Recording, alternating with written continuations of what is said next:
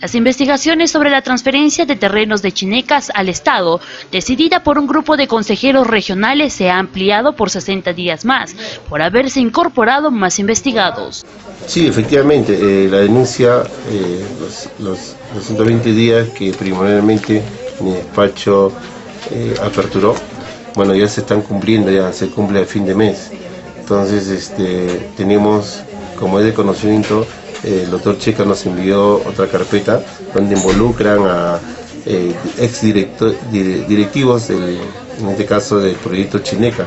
Por ese motivo, ya viendo ya las proximidades, lo que está haciendo mi despacho es hacer una eh, ampliando la investigación por 60 días más y bueno ahí vamos a fijar la fecha para los ya los nuevos investigadores que están en esta carpeta y también vamos a aprovechar para señalar nueva fecha para el gobernador pueda venir a declarar. El fiscal Guillermo Lizarzaburu informó que se están reprogramando las declaraciones de los 13 consejeros implicados en la denuncia que presentó el congresista Carlos Domínguez. Exactamente, pero eh, como es de conocimiento todavía estamos dentro de la fecha, ¿no? Hemos programado para... Esa fecha? Eh, esta fecha vence fin de, a fin de mes.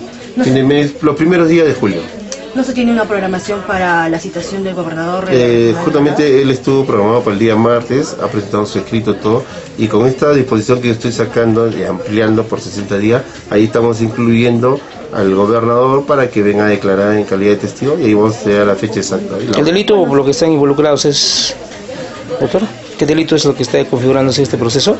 Es por el delito de abuso de autoridad, supresión agravada, abuso de autoridad adelantó que el próximo 21 de junio se cumplirá la última audiencia del proceso judicial que afronta el ex gobernador Waldo Ríos Salcedo por la designación ilegal de funcionario.